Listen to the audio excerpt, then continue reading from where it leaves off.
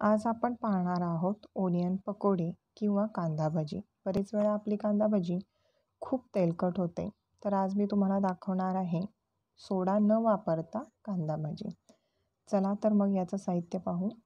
कांदा भजीसाठी आपल्याला लागणार आहे मीठ लाल तिखट धणेजिरे पूड हळद ओवा दोन चमचे तांदळाचं पीठ आणि डाळीचं पीठ. आता सर्वप्रथम चार ते पाच कांदे आपण हुबे चिरून घेणार आहोत आणि हाताने कुस्करून आपण सगळ्या त्याच्या पाकळ्या बाजूला करणार आहोत.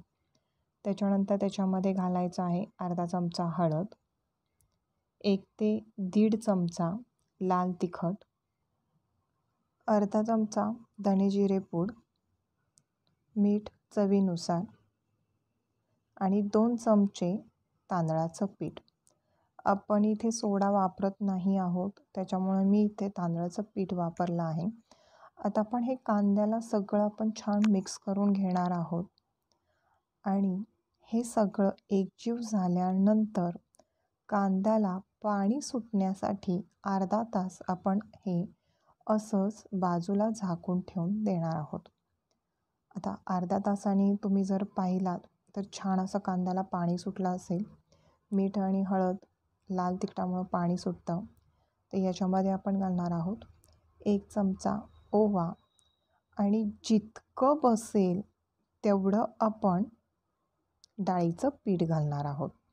त्याच्यानंतर आपल्याला दोन चमचे गरम तेलाचं मोहन घालून हे सगळं एक जीव करून घ्यायचं आहे. पिठाचं प्रमाण खूप नका वापरू. आपण कांदा भजी बनवता आहे. त्यामुळे बऱ्यापैकी कांदा सरसरीत दिसला पाहिजे. तर बॅटर आपलं तयार आहे. छान असं थिक बॅटर. गरज वाटली तरच थोडंसं पाणी घ्या. तयार आहेत आपल्या भजीचं पीठ किंवा भजीचं बॅटर.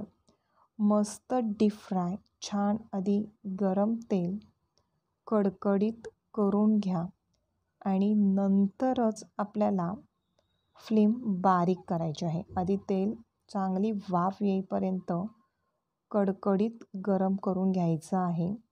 नंतर फ्लेम बारीक करायची आहे आणि नंतर आपण भजी सोडणार आहोत. तर कांदा भजी आपण मंद आचेवर गोल्डन ब्राऊन कलर येईपर्यंत तळणार आहोत. इथे आपण सोड्याचा वापर केलेला नाही. पुणे जेव्हा तुम्ही या भजी करून पाहाल तेव्हा त्या बिलकुल तेलकट नसणार आहेत. एकदा नक्की हा ट्राय करून पहा. मी सोड्याचा कुठेही वापर केलेला नाही. सोडा घातलात की कुठलीही भजी असू दे त्याला तेल ओढून घेतलं जातं आणि त्या खूप तेलकट होतात. ह्या पद्धतीने तुम्ही तांदळाचं पीठ थोडंसं वापरून कुरकुरीत खुसखुशीत क्रिस्पी कांदा भजी किंवा ओनियन पकोडे तयार करू शकता. छान त्याच्यावर मस्त लागतात ती म्हणजे हिरवी मिरची. हिरवी मिरचीमधून चिरून घ्यायची आहे आतल्या बिया काढून घ्यायच्या आहेत आणि हलकं मीठ लावून आपण त्या तेलात तळून घेणार आहोत. तयार आहे कांदा भाजी माझी रेसिपी करून पहा आवडली असेल तर लाईक आणि शेअर करा. थँक्यू